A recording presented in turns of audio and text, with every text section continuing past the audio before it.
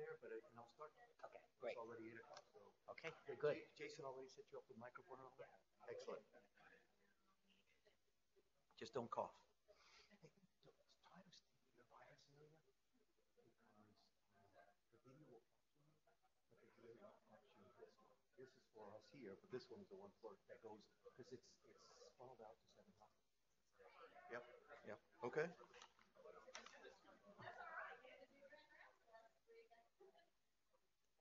Good morning. Welcome to the Department of Medicine Grand Rounds. Thank you for being here on yet another spring break week. This spring, wa- spring break extends, I think, several weeks. I don't know why. Uh, we have a special guest today, but before that, a few comments. Uh, during Grand Rounds in September, when I delivered Grand Rounds and I talked to you about uh, Bailey Ashford and how he discovered that hookworm was affecting people in Latin America and the Caribbean, uh, I told you that he did that because he was able to compare parasitic eggs found in the stool of patients with the pictures on a book, a book written by Sir Patrick Manson. And Sir Patrick Manson, considered the father of tropical medicine, was actually um, died on this day back in 1922. In China, he actually found, while he was investigating some mosquitoes, he found filaria worms in the tissues of mosquitoes. And he was the first to say, you know, mosquitoes and ins- insects can actually transmit infectious diseases. In 1894, he proposed the mosquito malaria hypothesis, which was the foundation for it to be discovered later on. He moved to Hong Kong in 1883 and developed a medical school there, and later on co-founded Dairy Farm, which was supposed to develop milk from cows that were contamination free. And he did all this work following the scientific methods, which was very influenced and promoted by Sir Francis Bacon just 200 years before. He was an English philosopher who really spoke about how scientists should concentrate on certain important kinds of experimentally reproducible situations that he called prerogative instances, just a few centuries ago. But today, we're going to talk about life and death. And life and death, as simple as those themes may seem or should be, everything about them and everything in between remains controversial.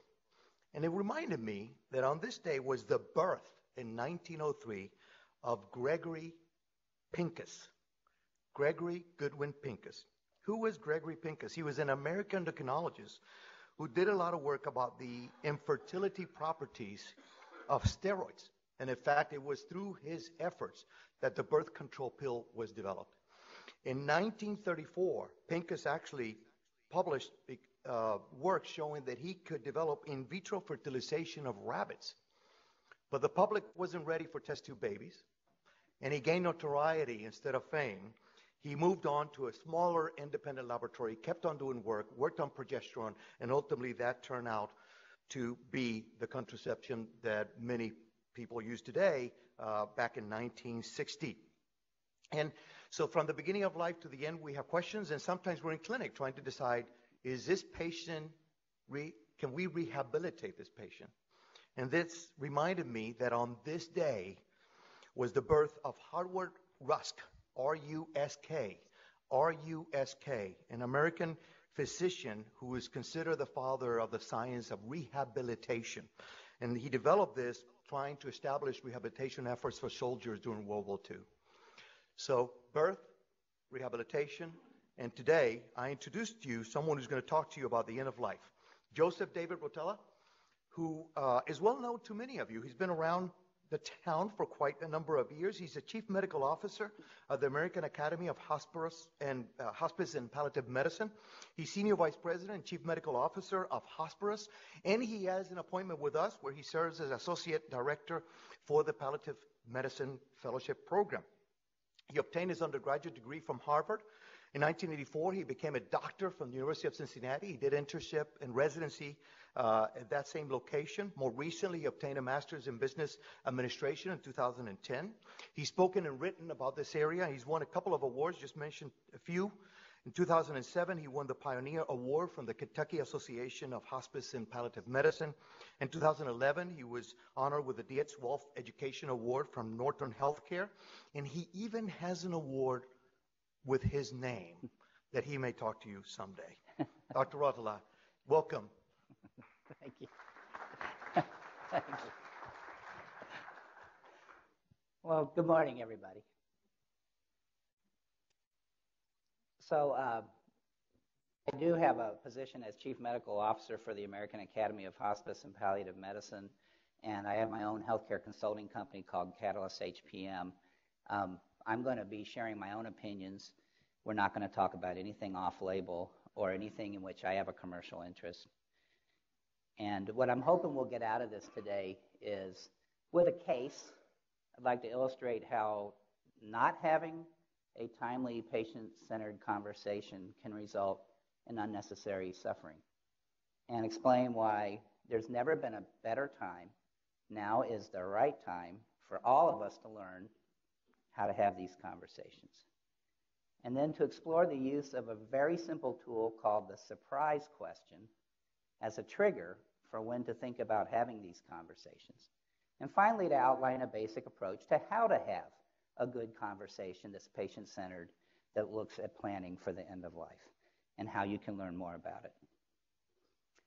So um, it's a time honored tradition for good reason to start medical talks with a case. Uh, a few weeks ago, I had the good fortune of attending a plenary speech at the American Medical Directors Association national meeting that was right here in Louisville.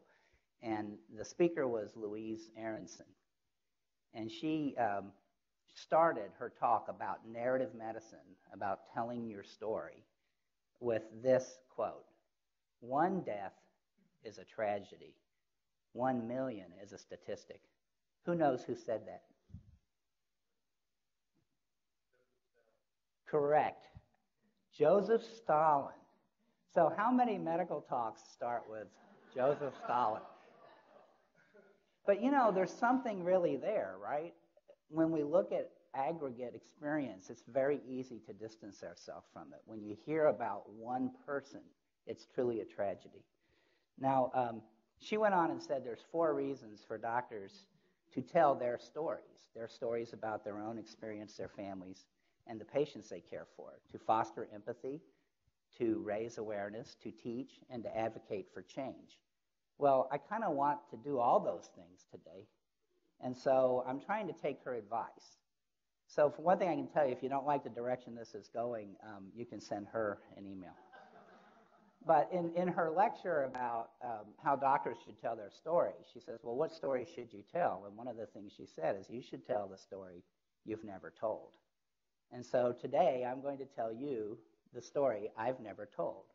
For the first time, I'm going to share with you the story about the death of my mother eight years ago.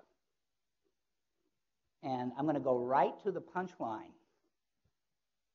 My mother, Sally, despite having a son who is a hospice and palliative medicine specialist, she actually died naked, scared, in pain, far from home, among strangers.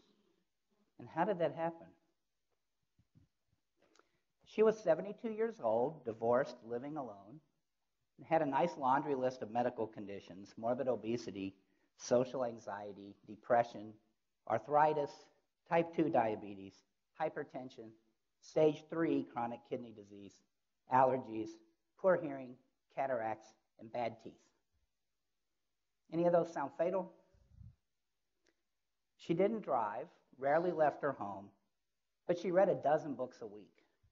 She managed her own activities of daily living and her dozen or so medications. She walked from room to room with difficulty, and she struggled with her personal hygiene. And she had two sons and two daughters, all of whom are healthy and successful. Three of us lived within two hours drive from her, and five grandchildren. And she always put the needs of her children and family way above her own needs. Very important to her. She placed a very high value on her privacy and independence. She raised all her children to be good citizens and especially not to expect special treatment. She would have been she taught me to be embarrassed by that introduction that I got, right? She was a self-effacing person who was appalled by anybody who would create a scene. And as an example of that, one Mother's Day, we took her out to a really nice restaurant. She put on her best outfit.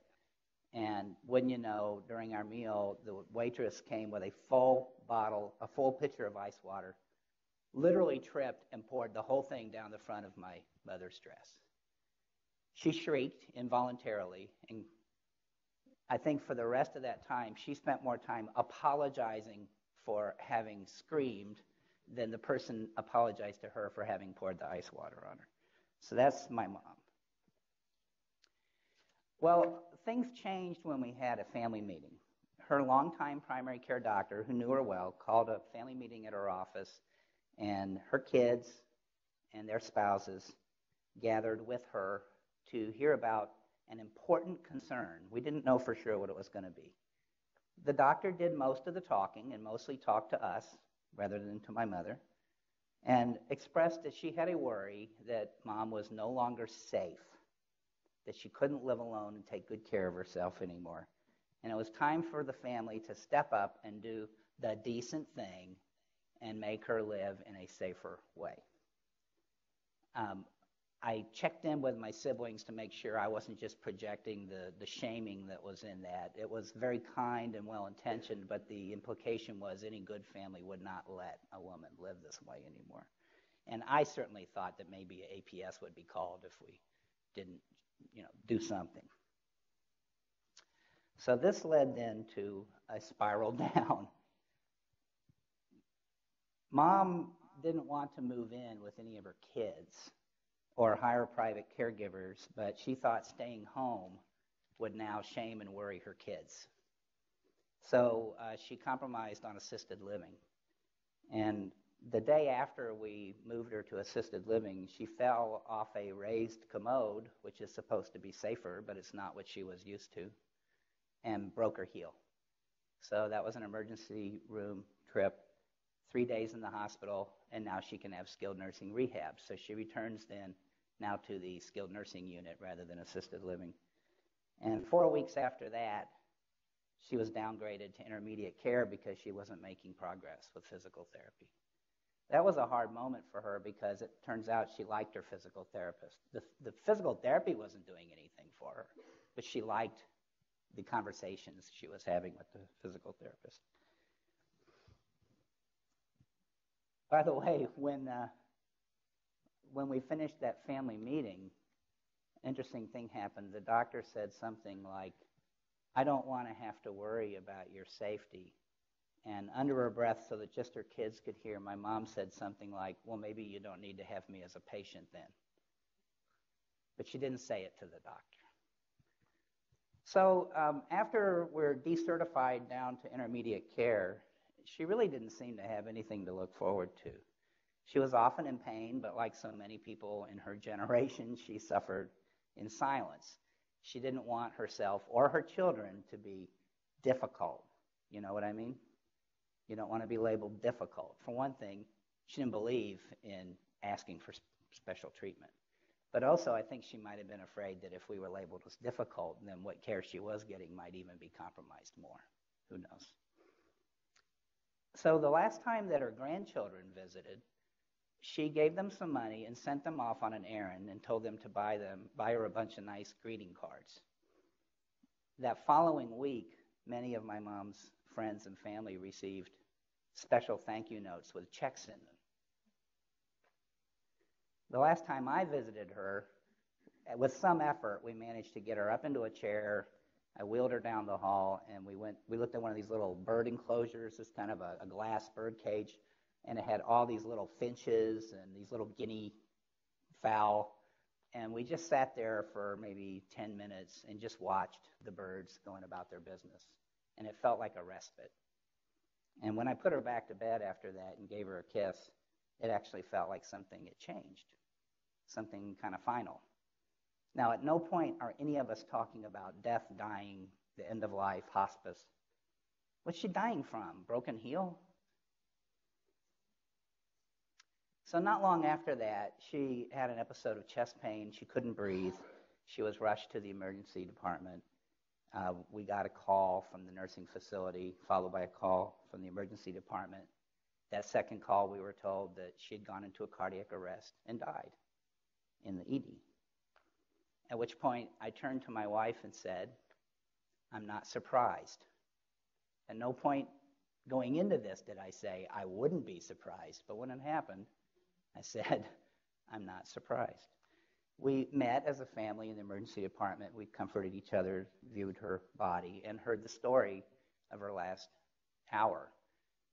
The nice emergency department nurse reassured us by telling us that she seemed really scared when she arrived, um, that the whole time that the ambulance was transferring her, she was worried that they were going to be too rough with her and had to keep reminding them that she has a broken foot. Please be gentle. And she wanted us to know that the team had fought really hard to save her. At which point, my sister said, But I'll bet she didn't. And that was our experience of my mom. The aftermath was that we saw her doctor again because her doctor, who was really a good hearted person, came to her wake. And it meant a lot to us. And in honoring my mom, we didn't say anything like, well, why didn't we have a different conversation? Because we don't make a fuss in our family. So, what are the themes that comes out of this story? First thing I wanted to show you is that a doctor can tell their own story and lean into it. And any of you that are uncomfortable with this whole issue of death and dying, I recommend you go ahead and lean into it. It won't kill you to talk about it or think about it. And it might make us more empathetic to our patients and families. In my mom's case, there was never a conversation about the possibility she was nearing the end of life or any discussion about what mattered to her. I asked my sister what she thought that fateful family meeting was about, and she said, I thought the doctor was going to tell us that she was dying of something.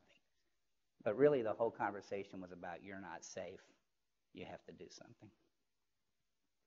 Since there was no conversation about her goals, we de- she always defaulted to the standard goal for whatever level of care she was at, right? So when she was in the home setting, the, the doctor said the goal is for you to be safe. And so something has to be done. When she was in the nursing home, the goal is to be rehabbed until she couldn't be rehabbed. And then when she had her final episode of chest pain, the goal was to resuscitate you. She had a living will, but what a living will count when you're having an acute MI? That's what the death certificate said, acute MI. And I thought there wasn't anything acute about her death, but that's how she died. So there was never any discussion about taking any other path besides the default. The care was fragmented. Uh, that was the only other time she saw her doctor. I mean, we saw her doctor. She never saw her doctor again, who called the family meeting once she went into assisted living. We saw her again at the wake. There was no attention to pain and suffering, really. Uh, no support for our family before or after the death. We all pretended she was going to get better because she was pretending, and so were the doctors and nurses. And she didn't want to make a fuss. And out of respect for her, none of us forced the issue, including her specialist son, who knew better, because she would have needed to have been invited by her medical team to talk about these things. It's just the kind of person she is. What could have been different? If someone on the medical team had invited her and her family to have a conversation about the end of her life, I think we might have established comfort as a primary goal. I think she might have been left in the home in the first place. Um, possibly could have consulted hospice or palliative care, but I'm wondering if a hospice would have admitted her. I don't think the nursing home had a palliative care team. Maybe they had had somebody like the physical therapist who could have sat with her, though. We would have insisted on managing her pain and symptoms better. We would have visited her more. We would have attended more to her legacy, more than just watching birds for 10 minutes and sending some greeting cards. And she might have completed something like a POST form that might have said, you know, if I get sick again, don't send me to the ER. Keep me comfortable here in the facility. None of that happened. Okay, so I've shared my story with you. That's the one. And for me, that's a tragedy. But I'm pretty sure that this has happened a million times. And it's the million you're not seeing or we're not responding to. So that's why I wanted to have this talk. Do we have the conversation as often as we should? Um, there's a lot of evidence that we don't. I'm just sharing two details with you here. Um, you know, the American Heart Association has a recommendation that patients with congestive heart failure during their annual routine visit have some discussion about their end of life goals and plans. That's actually only done 12%. 12% of doctors actually do that. Um, interesting study recently of uh, cancer patients. Uh, that most they, they actually surveyed cancer doctors and they about when they would have the conversation about things like your CPR preference, uh, possibly hospice, where you'd like to be when you die, for their terminally ill patients. And what they found is most of them don't have that conversation until they've run out of treatments to offer or the patient is really feeling bad. But they wouldn't have that conversation with someone in treatment who seems to feel okay. But why not? So uh, I wanted to show you a little bit about the variation that's occurring in Medicare spending because that's probably related mostly to whether we're having these conversations and putting patients in the center or not. Uh, this is a, a, depiction of Medicare spending in the last six months of life uh, based on things like the Dartmouth Atlas. And you can see a huge difference. In Grand Junction, Colorado, the average is $8,400 per patient. In McAllen, Texas, it's over $21,000 per patient.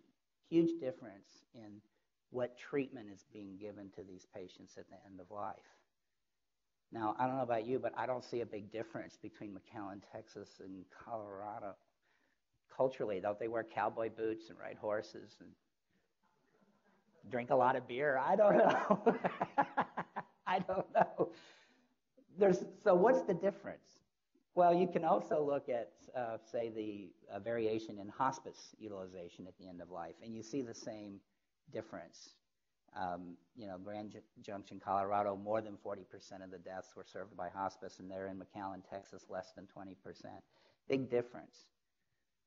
And just in general, hospice is underutilized. Most recent statistics we have, less than half of patients actually get hospice care before they die. And of those patients who do get hospice, half of them get less than three weeks, many of them just hours or a few days. It's not being utilized. Is that because patients don't want it? Apparently not. This is a study I'm sharing with you of uh, uh, attitudes of Medicare beneficiaries. So this is before they're terminally ill. They're asked, if you were terminally ill, how would you feel about these things? Would you want to spend your last days at home? 86% yes. Would you avoid life prolonging drugs even if, uh, you know, would you avoid life prolonging drugs if they would make you feel worse? 84% said yes. Would you take comfort drugs even if they shortened your life? 72% yes. Would you avoid a ventilator if it would only get you an additional month of survival? Yes. Would you worry about too much treatment or too little treatment? That's a split. They were just as concerned that they'd be overtreated as undertreated. And when you look at those attitudes and compare them to the geographic differences in hospice utilization or Medicare spending at the end of life, it's not the patient preferences that are different. The patient preferences are the same in both places. So if we're treating one group very medically and another group more holistically, it's not because that the people in Colorado want something different than the people in Texas. It might be whether we're asking them. It turns out there's a, a lot of specialists in McAllen, Texas. Okay, so when we talk about, you know, why this conversation doesn't happen more often, uh, I often hear about a lot of barriers. Um, I cheated and put it up for you already. I was really going to ask you all what you think the number one barrier is. So let's just stop for a second. Who wants to share what they think the biggest problem is with, with having this conversation in a timely way with patients? Doctors? Doctors' discomfort with opening the whole topic. And what makes the doctor uncomfortable?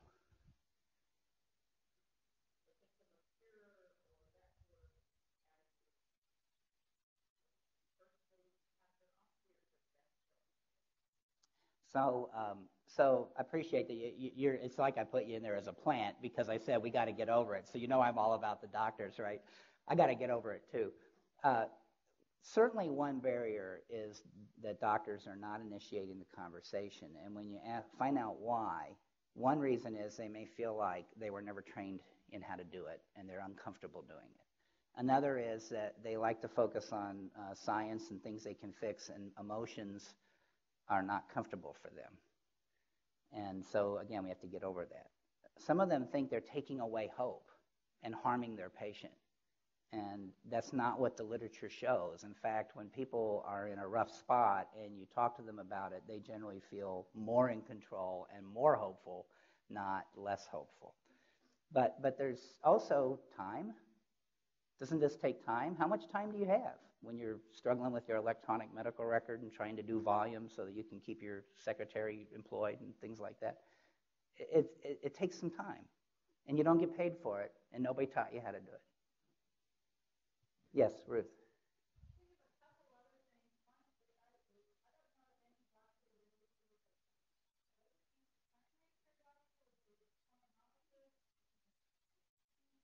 Mm-hmm.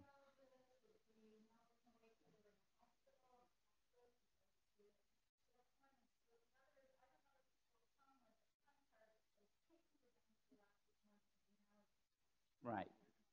Okay, great. So you've raised two points. One is the sort of fragmentation of care in which there's a lot of cooks and, and who's the chief cook and who's going to have the conversation. Everybody just takes care of a part of the patient. Um, that's one reason. And also the identifying who is the person that I should be having this conversation with. And we're actually going to talk about the surprise question a little bit and how that might be one way of getting there. So thank you. Yes.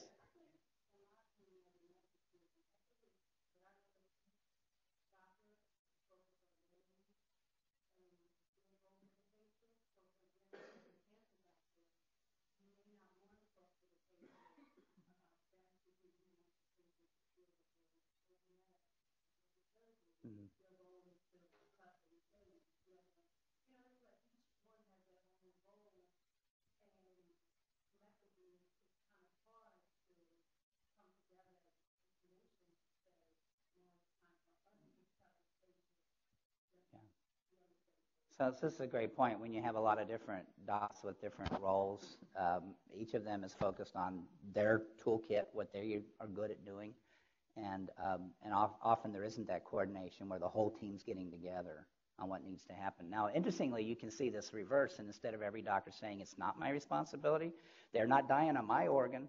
Instead of that happening, uh, there was a recent, uh, I don't know if you all saw this, I, I, can't remember, it might have been in the New England Journal, I'm not sure what, what uh, journal it was in, but there was this recent uh, feature where they said who should have the end of life conversation. Should it be the primary care doctor? They said for a cancer patient, should it be the primary care doctor, should it be the oncologist, or should it be the palliative care specialist? And they had three guests, one from each discipline, who made the case why it should be them. The oncologist said, no, it needs to be me. They're dying of cancer, and I'm the one that knows all the treatment options. We had the palliative care doctor saying, I'm the expert in this. You wouldn't have, uh, you know, you, have, you want a surgeon to take out a, a, a tumor. Well, you need me to have this conversation. And we had the primary care doctor saying, aren't I the quarterback running the whole thing? So, interestingly enough, I'd like to see us fighting over who's going to have the conversation rather than uh, nobody having the conversation. Yes.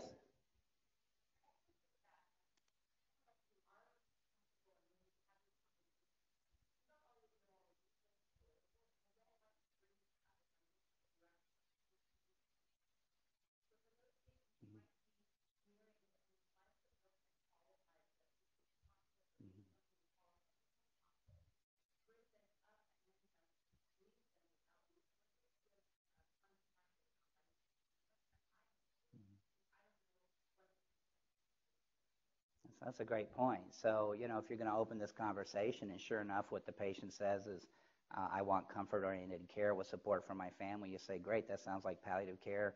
Uh, and you find out that hospice isn't available for one reason or another, and then you try to find a palliative care service. They're not in the hospital, and, you, and there isn't one. So, yeah, that's a really good point. Now, of course, part of the solution to that is making sure we have universal access to high quality palliative and supportive care, which we don't have today. But you know, in this era of healthcare reform, since it brings a lot of value, that doesn't mean we won't have it in the future. And the first step is to let the patient, you know, engage, right? Okay, I'm going to move a little more quickly through this next part. There's a lot of evidence that patients do want us to talk to them, that we don't take their hope away. This is just one I'm studying with you. It was about uh, patients who actually had metastatic cancer, and they were asked um, how do they want to hear their prognosis and how do they want doctors to support their hope. And here were uh, almost all of them agreed on these four top things. I want you to be realistic about my likely future, acknowledge me as an individual Give me a chance to ask questions, and I want my doctor to tell me personally. That relationship is so important. And I just will point out again that when we say, but I might hurt your hope, there's many, many things people can hope for. And one thing, I hope you don't come out of this uh, feeling too depressed. Human beings are resilient. And when they're faced with problems, many of them cope and adapt. And this is what happens with hope. As we go from hoping for a long life or a miracle cure or a spontaneous remission to hoping that maybe we'll outlive the predictions to maybe hoping we can make certain goals, then we want to just enjoy the, the beauty of everyday life. Then we start looking for individual worth and meaning, um, comfort, having uh, our family well cared for, a peaceful death. All those things are good things to hope for and can be things people can really get motivated and, and build their hope around. So we don't destroy hope when we're realistic with people, as long as we're not cruel. Now, if you're talking to a patient and you get this shocked look and they say, don't go there, don't go there. But invite the conversation. And of course, what this comes down to is that patient centered care means that all these decisions should be shared decisions, where we bring the medical piece, the patient and family bring their values and preferences and, and experience, and we work together to find the best thing. So to do that, to do shared decision making, the patient has to know what their health care problem is, what their options are, the benefits, risks, and costs of all the, the good options. You need to know their values and preferences. Uh, you need to know their ability to care for themselves and make decisions. You need to discuss what's known, make recommendations based on matching what you know about the medical treatment with what their goals are. You can't just say whatever you want's fine. They need a recommendation from you about, you know, the medical stuff, but you should base it on their values and preferences. Check in, make it explicit, or defer a decision. Okay, so there's an opportunity here in our medical culture. I mean, when I asked you about barriers, I thought you were going to say we have a death-denying society and they don't want to talk about it and it's a big taboo, and you didn't say that. So really, what you all said back to me is our medical culture has a problem. But I want you to know our medical culture is changing because of healthcare reform, right? And you see more value based purchasing, ACOs, bundled payments, mandatory quality reporting. In fact, Medicare is telling us they're going to accelerate the shift toward paying for value for the outcomes of populations and not for volumes of procedures or the number of visits you make. And in fact, we're only a few years away from that supposed to be the dominant payment method for us doctors. And how do you get there?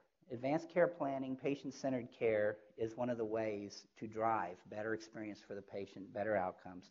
And guess what? It saves money too because you don't waste money on care people don't want. We're seeing now a pay code you can use for chronic disease management. There's also a pay code now for advanced care planning, although Medicare doesn't reimburse it, but there's talk that by next year there may be a reimbursement also for you just to have an advanced care discussion. So all that talk about death panels five years ago, it's a new day. You're probably going to get paid to have these discussions. Things are changing. Okay, so why do I believe now is the time in our society? I have this new role with the American Academy of Hospice and Palliative Medicine, and the first thing they told me is that you've got to have a social media presence. So I had to get on Twitter and got addicted to it like immediately. I'm an extrovert. I love this thing. You send out a, an idea and somebody immediately retweets it. And you're like, yeah, and then you, you start retweeting each other's stuff, and all of a sudden you have this community of people. You have no idea where, they're, where they are.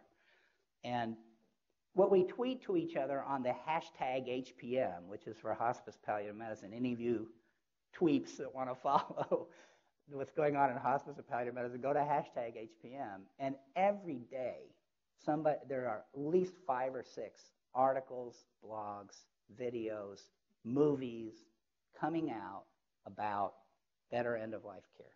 I've never seen anything like it. Here's a few examples, though.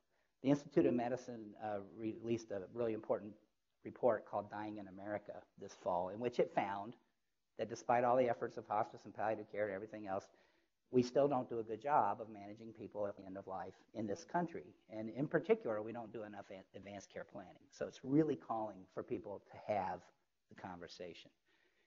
If I had told you five years ago that a surgeon from Harvard would write a book about demedicalizing the care of people at the end of life, and it would be a New York Times bestseller 25 weeks and running, would you have believed me? But that's the facts. People want to hear about this now. The Conversation Project was started by Ellen Goodman. She's a, a national reporter that I think wrote for the, the, Globe for many years and stepped down from that to found this, this organization that's just about motivating patients and families to have the conversation, even if the doctor doesn't bring it up. The Conversation Project is about next time you get together for Thanksgiving, put aside a little time and have the conversation, which I did. It freaked my sons out. They survived it, okay? Here's another example. Entrepreneurs are getting into this space. Real money entrepreneurs and social entrepreneurs. And nothing would shock me anymore. There's a, a game now you can buy, set of game cards called The Gift of Grace. And it was actually designed by a design firm called Act, The Action Mill. And this game, people are now playing these games in cities in the, in the country. Folks who don't know each other gather on a Tuesday night, and they pull out this box of cards, and they sit down with a bunch of strangers, and they pull cards out, and they have to share things about death, the end of life, how they want the end of life to go. And people have fun doing this. Unbelievable. Death cafes, end of life book clubs, it's all real. I don't know if you all saw this Death Redesigned. Go to the link and check it out. It's a big article about the leader of the Zen Hospice, who's a, a Buddhist physician, is linking up with the world's most famous design firm, IDEO, and real life money entrepreneurs, and their goal is to redesign death. Interesting. Choosing wisely still cranking along, and more and more when I see these uh, recommendations that are coming out from medical societies, they often now include things about incorporating goals of care discussions. So, for example, just in the last two months, these two new uh, recommendations came out. The uh, ASTRO is the Radiation Oncologists Society, in which they now have a choosing wisely recommendation, which says don't start palliative radiation without a discussion about goals of care. And the American Medical Directors Association, those are your nursing home doctors primarily, they actually now have a recommendation that says don't transfer a frail elder from the nursing home to the hospital without establishing their goals of care. So you see, it's really a theme now. Now's the time. We don't have any excuse. Uh, Scott Simon, NPR Weekend. Any of you follow the death of his mother? You guys are not, your guys aren't on the Twitter, are you? He tweeted from his mom's bedside, his whole experience of her last days, and then wrote an article about tweeting mom's goodbye. And I've got a link up there for you. Oliver Sacks recently wrote about his getting his terminal diagnosis. Leonard Nimoy, before he died, was tweeting out about his last days. People are not running away from this like they used to. I don't know what it is. I think the millennials don't have taboos. Nothing is off limits, not like the silent generation my mom was part of. And here's a good example. Uh, this last link I put up here teenagers face early death on their terms. This is an article about um, dying young people who want to plan the end of their life and insist on it. Okay, so maybe I've made the case that we don't need to be the barrier anymore, and society's not a barrier anymore. So when should you have the conversation?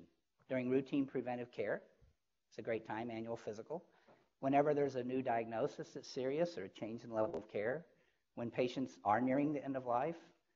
Before they're too ill to engage. And before they're in acute medical settings where they tend to get disempowered. So the surprise question. Would I be surprised if this patient died in the next year.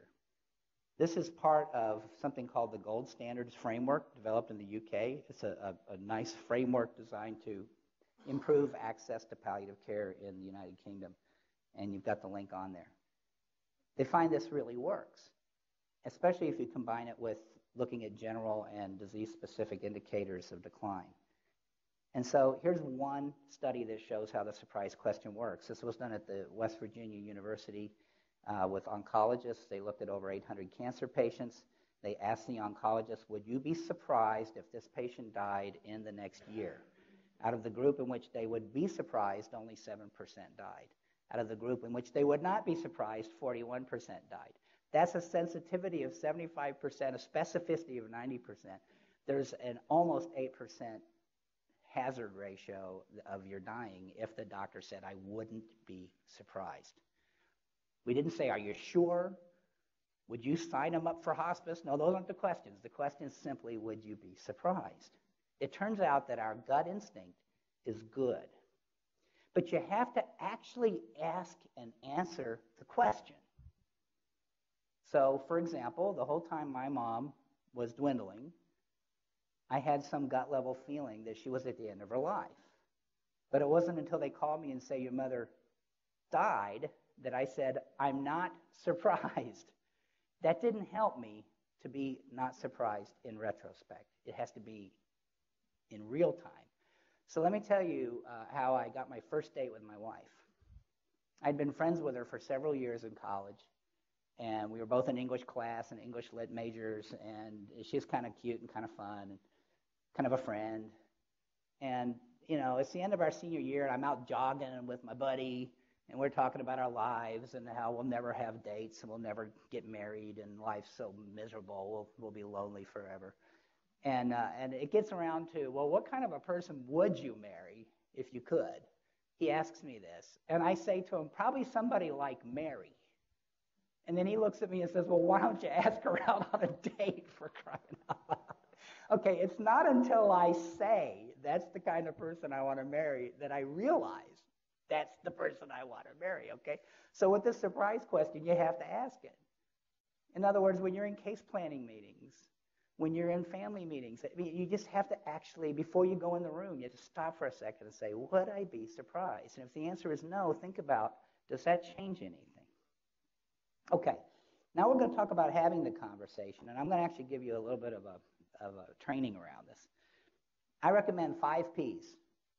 Think about purpose, preparation, pause, presence, and perception. That's easy, right? Purpose. When we sit down to have a conversation with people, it is not to download information. It's to build a relationship. Okay? So even if we don't come even if we don't come to a decision, it doesn't mean it wasn't useful. Because completing those tasks is only one thing earning trust, expressing empathy, gaining a deeper understanding of what's important to the patient. That's important too. We should go in prepared. Like we should know what resources are available if they want comfort care. I agree with that. We should confer with our colleagues and teammates so we know who's on first and who's on second and, and who's going to have this call. We should find a good time and place and have the right people present.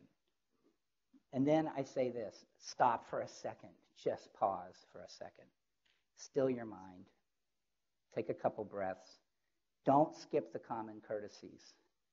You know, palliative care docs that do these, con- these talks all the time, we move a lot of furniture around to make nice circles so everybody can see each other. And the first five minutes of every meeting is everybody introducing themselves and their relationship to the patient, and everybody needs to know who's in the room. Everybody should sit. Nobody will be interrupted. During this time, we need to be present with our phone off and not answering tweets and text messages and listening and allow silence and allow feelings, including our own. And then we need to be in a perceptive mood, not a judging mode. In other words, watch how people are reacting, try to understand the emotions they're having, express empathy, look at the interpersonal dynamics, seek to understand more than to download information. We also need to be aware that these go better if the patient and we are in a good mental state and not hungry, angry, lonely, tired, or have to go to the bathroom. Take care of that stuff first so you can pay attention to what counts. That comes out of the recovery programs, Alcoholics Anonymous and programs like that. They actually know that when people are hungry, angry, lonely, or tired, they're more prone to relapse. So they tell people to manage those things. Be aware. So don't go into this thing if you're bedraggled. Ask, tell, ask. Ask the patient permission. Ask the patient what they know. Tell them what they need to hear simply, no jargon. Let them absorb it. Ask them to repeat it back to you. Do they have further questions? And if you get stalled, tell me more. Tell me more about what information you need, about what, how you feel about this, about what this means to you. Just keep digging. You know, there's more than one kind of empathy. This is from Daniel Goleman, Harvard Business Review. He writes about emotional intelligence. Cognitive empathy is the ability to understand another person's point of view. It's intellectual. Emotional empathy is the ability to feel what they're feeling or understand that. And empathic concern is the action part of it, is knowing what they need from you. They might not need from you for you to burst into tears, or maybe that is what they need from you, but empathic concern is about knowing what they need. Sometimes people say uh, they're not good at empathy. You know, not all doctors come into this because they're loaded with empathy. They may be loaded with good intentions. Um, you know, the, the, Dr. Buckman was one of the real pioneers in physician communication, and I went to I got to see him before he died at a big national meeting, and he got up in front of everybody and said he thinks that, that doctors uh, are Aspergoid, that we have uh, you know mild Asperger's syndrome on the average, and he included himself in that group. And then he went on and said, but we can learn how to interact with people. So if you need to learn empathy, here's a couple clues. Just be, become mindful and present. Focus on your own breathing. Observe the interaction like you're up at the ceiling looking down. Don't get lost in your own thoughts or feelings. Let them pass. Fake it till you make it. Actually works. If you're too empathetic, if you're bursting out in tears, if you can't get through your own emotions, then here's what you have to remember. There's more than one kind of empathy. There's the heart to heart empathy of feelings, and then there's the head to heart empathy of trying to see it from another person's perspective. Move into your head a little bit more. It can be done. Finally, doctors are explainaholics. This was a remark from James Tulsky, who's a communications expert, palliative care doctor. It was quoted in a CNN article called Instilling Empathy Among Doctors Pays Off for Patient Care. The article, which I've again got a link to here, really shows that you can teach doctors empathy and it makes a difference. So now I'd like to give you a six minute training, and then I promise we'll wrap up very quickly after that. And this is from Dr. Diane Meier, who uh, is a prominent palliative care doctor, uh, founder and director of the Center for Advancement of Palliative Care. I found this online. It's any of you can access it. Here's the link. Let's see what she says about how to have the conversation. Just as you wouldn't send a young physician in to do a surgical procedure without a lot of training and practice and supervision, having conversations with persons and their families about very complex medical decisions in the context of a serious illness is a procedure. And it requires training and practice and supervision, just as any other complex medical procedure requires.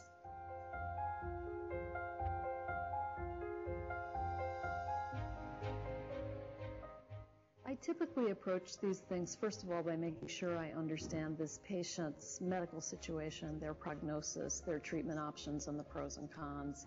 Next, I make sure that I communicate with the patient and their family that this is going to be an important conversation the, and that the right people need to be in the room. We have to remember that 70% of human communication is nonverbal. So it's both the space around the family and the doctor as well as the doctor's own facial expression and oh, body the language. So the first thing is to find a room which has a door that closes and is quiet. Then you arrange the chairs in a circle so people are facing each other. I always get a pitcher of ice water and some cups and some Kleenex because there's often tears and it helps people to be able to deal with that. Everyone will go around the room and introduce themselves and say what their relationship is to the patient. And secondly, I want to assure everyone that everyone will have a chance to speak and no one will be interrupted. The next step then is to ask them exactly what the other doctors have told them. And this is where you get the opportunity to hear that they've heard a lot of different things that actually don't align very well, which is unfortunately very often the case in modern medicine. This is the stage where you remember the three words ask, tell, ask. And the first ask is finding out how people like to get information. And what that does is in the 90% who say, yeah, I want all the details, they have given you permission to tell them. So you have essentially placed the power and the control over the exchange of information in the hands of the person and their family. The tell part, which we doctors think should take up the entire meeting and we spend a lot of time feeling anxious about, is actually the shortest part. The tell part is where you say, for example, I'm sorry to have to tell you this, Mrs. Jones, but the PET scan has shown progression of your cancer. And then you stop talking.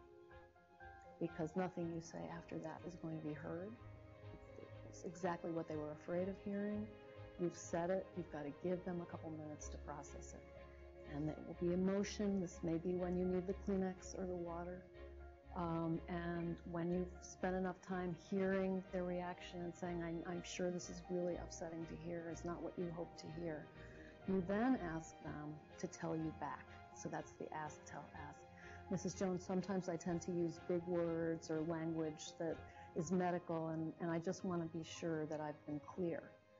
Can you explain back to me what you understood from what I said? And then people will kind of take a few minutes and then they'll pull themselves together.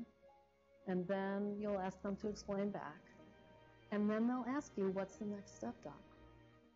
There are a couple of really difficult questions that doctors dread. And the first one is, doc, am I going to die of this disease? And the right answer to that question is, barring some unexpected accident, yes, this disease is what you are going to die of you have to understand this is not going to come as a surprise to your patient or their family. They just need validation of what they already fear and know deep inside themselves. And that's when your preparation that you did before the meeting it comes in handy because you will be able to explain the options and their pros and cons and how you're going to help them figure out what the best path for them is in whatever time they have remaining. A very important step that I think is often missed by busy doctors is to write down what we said. And also when you are next going to see them and how they can reach you, what number, and hand them the piece of paper. That piece of paper is you. They're going to take that home. It's a transitional object. It's a reminder that you're there for them. Because again, what that does is it takes the patient out of the role of being a cog in the disease treatment machine and puts them in the role of an active participant and essentially captain of their own medical ship. My hope is that we'll see a transformation of medical education, nursing education, other health professional education in the next 10 years so that no one escapes from medical school or nursing school without being able to demonstrate highly skilled ability to conduct difficult and challenging conversations with seriously ill patients and their families about what matters the most to them, what gives their life meaning, how can we help them achieve what gives their life meaning. That's what makes this work such a privilege because we can help people at times like this. I hope it will restore the joy and pride in being a healthcare professional.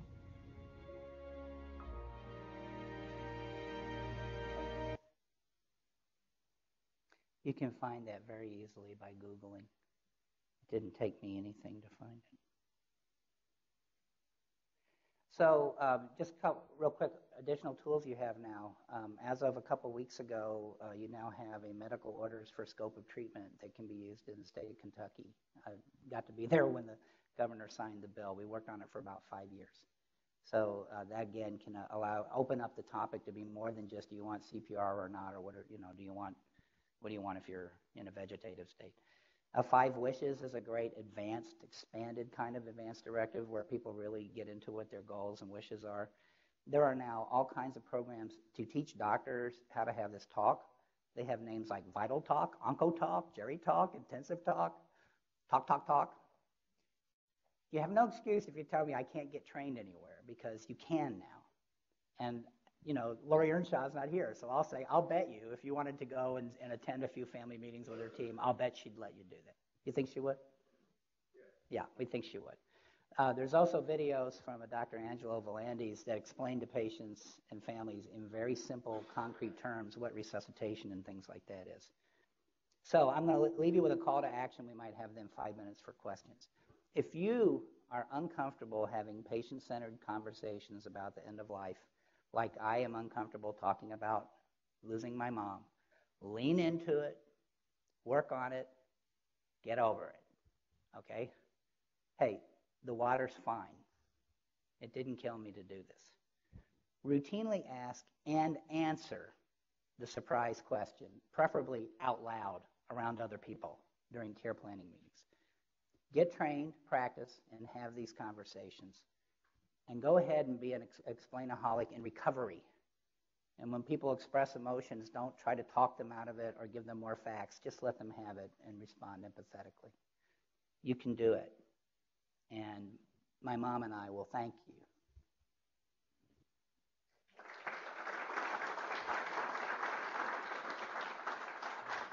Thank you. Thank you. I, I appreciate you uh, reintroducing us to this conversation. I want to turn that conversation upside down, just for the sake of argument. Okay? I'm a critical care doctor. I have these conversations all the time. I'm not saying I'm great at it. You don't want to have these conversations in the critical care unit. But this is where they often do because of the problems that you described today. But I've learned by learning about critical care that the weaning process, the weaning from the ventilator, many people believe is for the patient to get better to the point of having spontaneous ventilation. And yet many doctors believe that the weaning process is only for the doctor to feel comfortable to Mm. extubate the patient. Mm. And the data is 50-50. Mhm. And so what I want to ask you is, this is clearly a cultural event. Mhm. Our culture tells us that we need to put the patient at the center, that we need to put the family. I would argue that these conversations are happening in part because we now have the ability to do everything for patients. Mhm. And since we have the ability to do everything, we better define Mhm. how much of that do they want to receive. If we didn't have the ability to do everything, we might not have these conversations. Mhm. And so I, I want to ask you about this cultural issue, and I want to base it on my story. Great. Uh, a few years ago, I was asked to go to China to give a lecture. I'm, I'm in Shanghai, sitting with my, uh, I mentioned this to you, some, some of you, sitting with my host. And suddenly he's interrupted and asks me to go, go to the clinic. And he says, come with me. So I go with him at the clinic, and we're sitting down with a, an elderly gentleman and a young lady, and they're speaking in Chinese. I have no idea what they're saying. Okay? I know he introduced me because he said this, and I went like this. And I know something was wrong because the x-ray on the wall had a big mass. I know what's going on. I don't know what's being discussed, but I know what's going on. After a 15-minute conversation, we go outside, and there are about 15 family members outside, all of them embracing him, shaking him. They shake my hand. They embrace as I had anything to do with it. And then we walk back to his office and discuss this. None of these people were the patients. Uh-huh. Not a single one of them. The decision was made culturally, and very often in that culture, that the patient is taken out of this discussion for his or her own sake. That the family chooses a person to make decisions about the future of this individual in order to spare this individual from the pain and anguish of understanding the reality of their diagnosis. Mm-hmm. That is acceptable. That is what needs to be done. They won't have it any other way. Mm-hmm. Eastern, Western. Mm-hmm. How do you deal with it? Okay, great. Hey, good story. Thank you. Uh, okay, so uh, it's always important that we provide care that's culturally sensitive. That said, in those cultures in which the patient is not told the diagnosis, but the family is, they know. They know. I, I you know, I, I like to teach with film, so um, you know, uh, Akira Kurosawa, the great Japanese film director, uh, did a, a movie called Ikiru about a man who gets stomach cancer. And there's a scene in this movie which was made in the 50s, and in Japan in the 50s, that was the, the, the dominant mode, in which he's sitting in the doctor's office waiting to meet the doctor, and one of the other patients says, Hey, hey, if they tell you you've got an ulcer, if they tell you don't eat this, don't take that, you're done for. The, the other patient is telling him how to interpret all the code that's coming. And, and so, even if it's culturally appropriate in that culture not to disclose to the patient, that doesn't mean the patient doesn't know, and it doesn't mean that they don't miss out then on some important things. Tell you a really quick story. Uh, that's also true of the uh, traditional Russian medical culture, would be not to tell. So, um, I had a, a Russian Jewish immigrant patient that was dying in our hospice unit, and not only her son, but the interpreter, who was also from the Russian Jewish community, and others all said, Do not tell her she's dying. Do not tell her she has cancer. Fine. What can I tell her? You ask her if she want, has any questions. She didn't. Does she want me just to work with her son? That's what she wanted. Fine. Culturally appropriate. The day before she died, she suddenly sat bolt upright and started yelling, I am die, I am die, get my son. Her son runs into the room. You're not dying, Mom. Yes, I am. Here's what I want to tell you. Okay, so the fact is that just because you're in a culture where we don't talk about it doesn't mean that the patient isn't, in fact, aware and wanting to be able to have some kind of conversation about it. So I'm still a proponent of yes, be culturally sensitive, but we should be advocating in all cultural contexts for putting the patient in the center of the care to the degree that they accept it. I think it's still the right, right thing to do.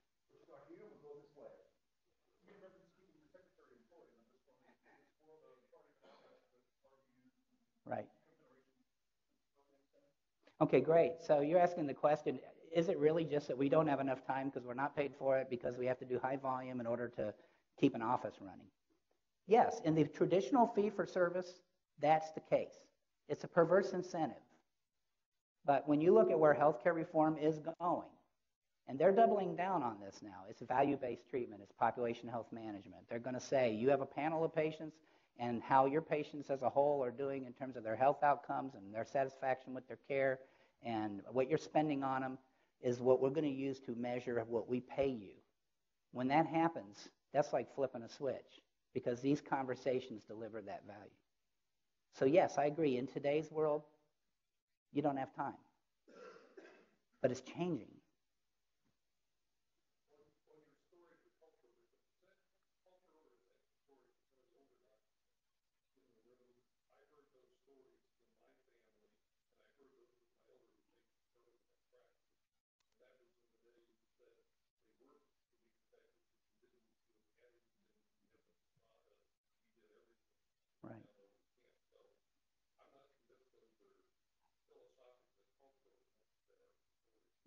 I think it's a good point, and cultures change. And what I'm telling you is, I think our society in the United States is at a tipping point.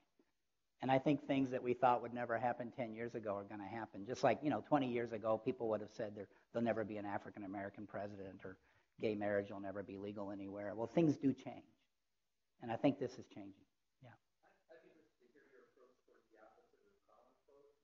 my loved one's the exception to the rule. You're talking about generalities, but we're applying to my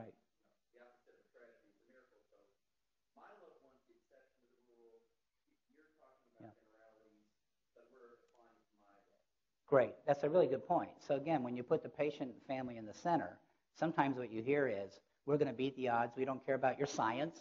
We're praying for a miracle. We, we're going to lay on hands and it's going to happen.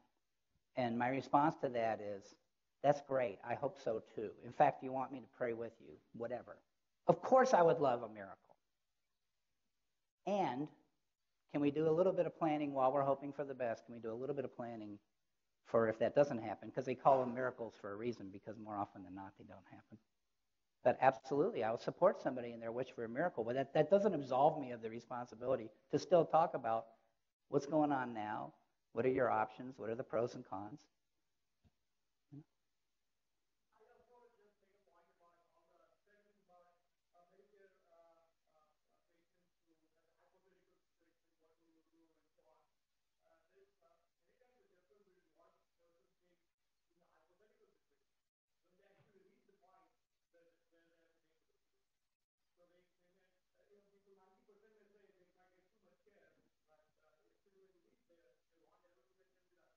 Right. So I think that's a really good point. So when I quote to you that if you sit down with people who are well and say, when you're sick, what do you want? The odds are when they actually are sick, they might answer differently. And, and that's true, they might. And, and especially early in disease, they might cling to, to treatments, yes. But it's also true that people who say, I wouldn't want to live if I couldn't drive my car, get to a point where they can't drive their car and they go, you know what, things have changed. This is still a, a life I'm, I'm interested in living. So, yes, this is all fluid. And the real point is, you never know where somebody is unless you sit down and talk to them. Just like the most simple question is to ask the surprise question would I be surprised if they died? That's not rocket science. You know how you find out where people are? You got to talk to them. It's the only way.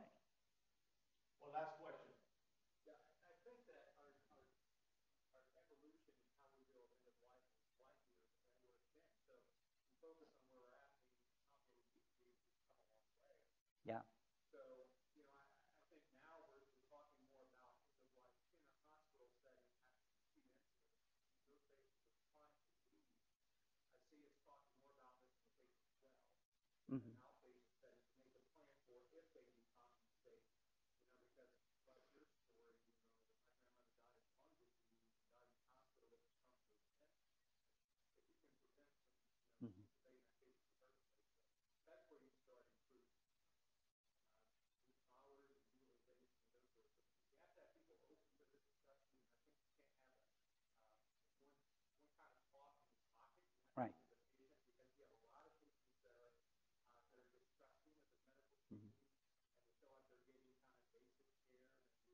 Right. Right. Right.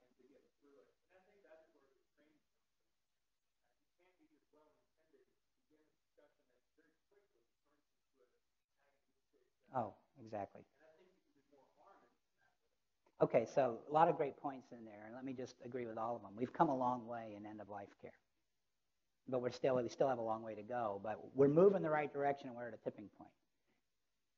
Yes, you can't just have a rote talk in your pocket and apply it to everybody.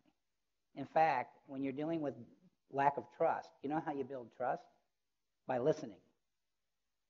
And so it, it's not so much important than what you know how to say. It's are you going to sit down with your patient and routinely listen to them? And so uh, I agree with you. You can do more harm than good when you bowl into a discussion and you're not watching the patient's cues and you're not doing what's welcome. But the vast majority of people, if the door is opened, are actually willing to go there and they generally feel empowered and better if it's handled appropriately. So thank you for that. Thank you all and continue the conversation. Thank you. Thank you. Very good. Appreciate it.